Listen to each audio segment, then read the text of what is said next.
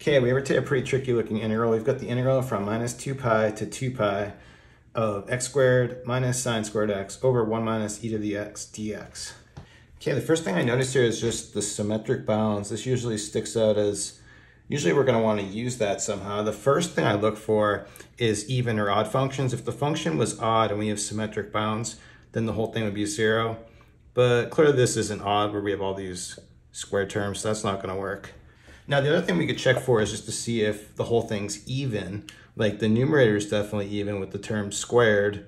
Uh, constant value is actually even, but this value is not even or odd. So we can't really use that simplification either. But what I can do with the symmetric balance, this is actually a good case for us to use King's principle. And let's just look at that formula really quick. So looking at our formula for King's principle down here to the right, it's going to allow us to transform our integral. If, if this right here is our f of x here, we get to transform it into this form and hopefully that helps us. Now the reason I like to do it in this case where we have the symmetric bounds, for this a and b value, right, like a is our lower bound, b is our upper, upper bound.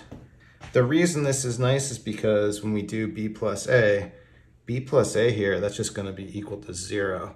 So when we have, so for this transform value here, because b plus a is zero, we just end up with f of minus x. So let's use the formula and see what happens to this thing. So the bounds stay the same, so we're still going minus 2 pi to 2 pi. And then everywhere we see an x, we just want to input minus x. But here, minus x squared, that's still going to be an x squared. Then we'll just input it into the sine squared here. So this is going to become sine squared minus x.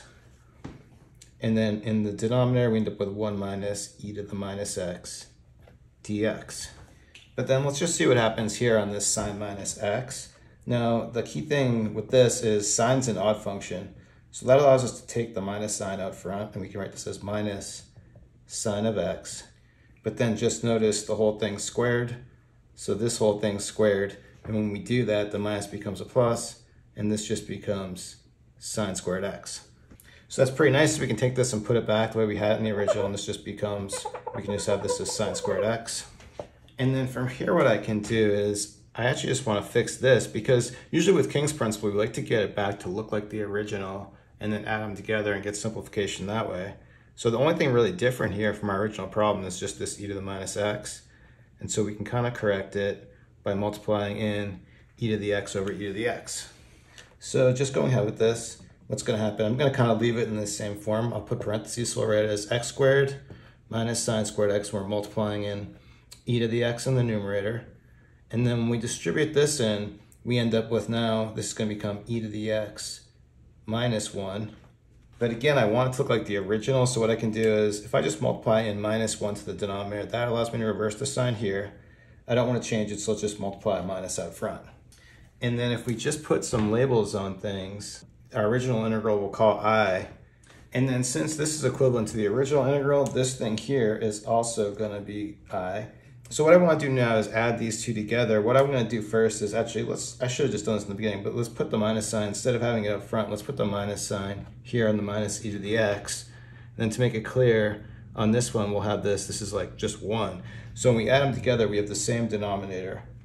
So for our 2i, what's going to happen? We have the same bounds and everything. Then we have the same denominator, and we have this part in common, x squared minus sine squared x, but now putting together, we have one copy minus e to the x copy. I can write this as 1 minus e to the x here with the dx on the end. But the reason this works so well is because then we can just cancel 1 minus e to the x with 1 minus e to the x. And now we're just left with x squared minus sine squared x, which is something that's to be pretty easy to integrate. Before we do it and deal with this integral, let's just divide off this 2 so we've isolated our solution. And we'll multiply by 1 half over here, just so that we're focused on this. Now from here, what we can notice is that our integral, both these are squared, so this is actually gonna be an even function here, and that's gonna allow us to use this principle down here. It doesn't help that much, but it just allows us to take the lower bound, this minus two pi, and change that to zero. So we'll cross that out, make that a zero, and then all we need to do is we just need to bring two out front. So we bring a two out front, but that's nice because that's gonna just cancel with this one half. And then from here, I'm almost ready to integrate, but I just want to use a formula to reduce this sine squared. I can use the formula and write this like 1 half minus 1 half cosine 2x.